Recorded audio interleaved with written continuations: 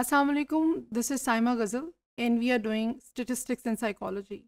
Last time we talked about uh, what is statistics, what why statistics is important in psychology, and how we can use it in psychology. So we learned that statistics is a science of learning from numbers.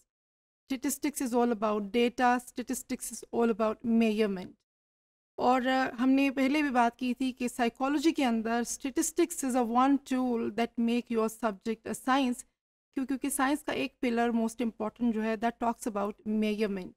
जैसे हमारे real sciences में मेयरमेंट है वो solids हैं message हैं we can measure them but psychology amazingly is a science because we can measure attributes we can measure personality cognition, intelligence, all the things that are hidden in ourselves or लेकिन हम उसको research और statistics की मदद से we can measure them so if is a question of measurement so what we need to measure exactly in statistics आज हम इसकी बात करेंगे। So what to measure we measure variables और um, वेरिएबल्स uh, क्या हैं? वेरिएबल्स uh, कोई भी ऐसी चीज़ जो चेंज होती है या चेंज होने का मौका देती है anything that changes so we can talk about anything variables आपकी एज हाइट आपकी जेंडर um, आपका सोशल इकोनॉमिक स्टेटस आपकी personality anything like we can talk about anything that changes that's in the variable और इसके जो opposite हम बात करते हैं वो कॉन्स्टेंट है. कॉन्स्टेंट का मतलब है कि वो चीज़ जो चेंज नहीं होती। तो स्टेटिस्टिक्स के अंदर जब हम टेस्टिंग हाइपोथेसिस करते हैं तो हमारे पास वेरिएबल्स होते हैं हमारे रिसर्च क्वेश्चंस होते हैं हमारी हाइपोथेसिस um, होते हैं जिसके अंदर हमारा वेरिएबल्स uh, और उनका एक प्रपोज uh, रिलेशनशिप होता है। सो so, अगर मैं कहूँ फ़र्ज़ करें कि आई वॉन्ट टू स्टडी कितने घंटे बच्चा पढ़ता है और उसके अगेंस्ट उसका कितना जीपीए आता है so maybe how uh, hours we spent in studying and the final GPA maybe in the statement there are two variables. अब इसके अंदर हम बात कर रहे हैं कांस्टेंट और वेरिएबल की अगर मैं सिर्फ़ फ़र्ज़ करें I want to study across all students on campus के कितने घंटे बच्चे पढ़ते हैं और उसके नतीजे में स्टडिंग आवर्स का कितना ज़्यादा जीपीए के ऊपर आता है या रिलेशनशिप है तो if I am studying boys and girls both तो maybe gender is a variable लेकिन अगर मैं सिर्फ़ फीमेल्स uh, ले रही हूँ या सिर्फ़ I am collecting data from girls only तो maybe then gender is not a variable because उसको मैंने कांस्टेंट कर दिया और मैंने सिर्फ़ गर्ल्स का डेटा लिया। तो variable means anything that that is changes that changes और जिसकी डिफरेंट वैल्यूज़ हम एक्वायर कर सकते हैं। आपने नाम definitely heard about independent variable and dependent variable तो इंडिपेंडेंट वेरिएबल जिसको मोस्टली ये टर्म्स हमारे एक्सपेरिमेंटल रिसर्च डिज़ाइन में यूज़ होती हैं in we will talk about them also लेकिन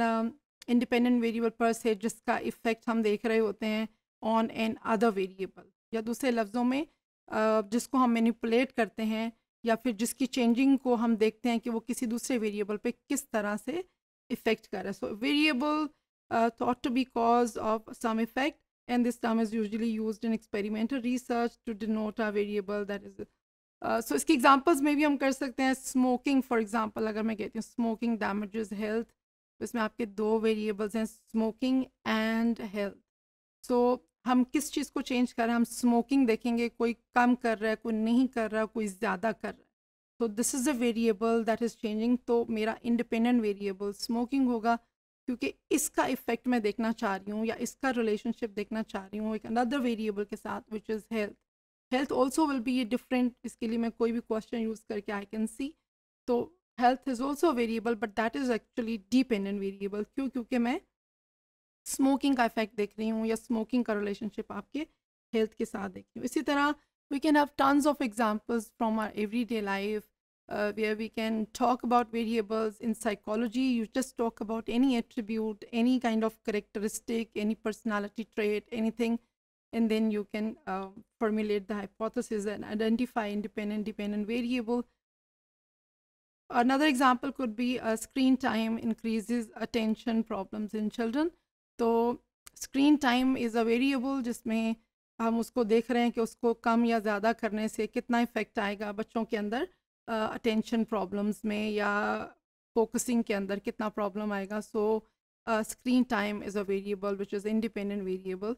और उसका इफ़ेक्ट हम देख रहे हैं, उसमें बच्चों में जो अटेंशन के प्रॉब्लम्स आ तो dependent variable we already talk about कि एक वेरिएबल जिसको हम मैनिपुलेट कर रहे हैं या चेंज करके देख रहे हैं और उसका इफ़ेक्ट एक दूसरे वेरिएबल पे देख रहे हैं। So the variable way we are checking the effect is on that is called dependent variable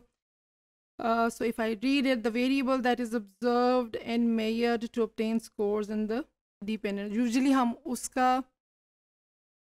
uh, उसकी इंडिपेंडेंट वेरिएबल की चेंजेस देख रहे होते हैं आपके डिपेंडेंट वेरिएबल के ऊपर जैसे हमने लास्ट एग्जांपल्स में बात की है स्मोकिंग और हेल्थ की तो health course is a dependent variable इसी तरह स्क्रीन टाइम का अगर हम इफ़ेक्ट देखना चाह रहे हैं या रिलेशनशिप देखना चाह रहे हैं on attention problems in children तो attention problem would be dependent variable mostly अगर आपको आइडेंटिफाई करना हो तो यूजली आपकी समथिंग इट्स आउटकम वेरिएबल होता है आपका dependent variable part of your own self है जिसको हम मेयर करते हैं कि क्या चेंजेस आई हैं आपके इंडिपेंडेंट वेरिएबल की मैनिपुलेशन के नतीजे में।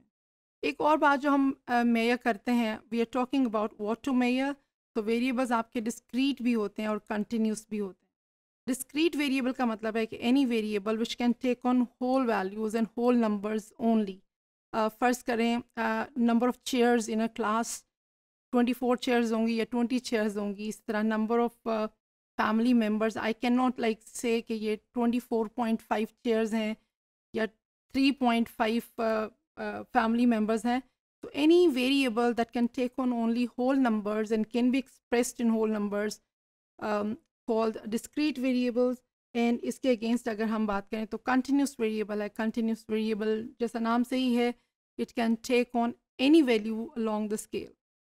जैसा आपकी हाइट है it can be a 5 feet 5.83245 it can take on any value along the scale और इसके दरमियान में आपके कंटिन्यूस है नंबर्स गैप्स नहीं है बिल्कुल भी। तो आपके बहुत सारे एग्जांपल्स कंटिन्यूस वेरिएबल के लिए आपकी हाइट है, आपका वेट है, आपका जीपीए है। So any any value that can take on on values that can you know lie any anywhere along the scale is called a continuous variable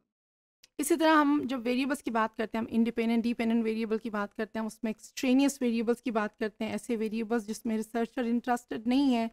but they actually are affecting your dependent variable जैसा हमने बात की smoking and health की I am measuring smoking and health only but there are so many other variables that are actually affecting my health for example मेरा lifestyle for example मेरी exercise habits my diet my family plan like family members my social support, my peer, so many things are at play. They are affecting, so they are called extraneous variables.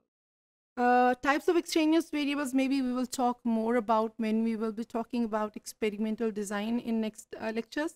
Um, and also uh, confounding variable. Confounding variable is also a type of extraneous variable. लेकिन फ़र्क ये होता है कि एक confounding variable actually एक systematic तरीके से आपके डिपेंडेंट वेरिएबल को इफ़ेक्ट कर रहा होता है यानी जैसे जैसे चेंज आपके इंडिपेंडेंट वेरिएबल में आ रही होती है इसी तरह आपका डिपेंडेंट वेरिएबल के अंदर ट्रू कंफाउंडिंग वेरिएबल भी आपके चेंज आ रही है। फॉर एग्ज़ाम्पल अगर मैं देखती हूँ कि म्यूज़िक का इफ़ेक्ट परफॉर्मेंस में क्या है और मैं uh, इसके अंदर मे बी जो शिफ्ट वर्कर्स के अंदर मैं चेक कर रही हूँ तो जो मॉर्निंग शिफ्ट है और जो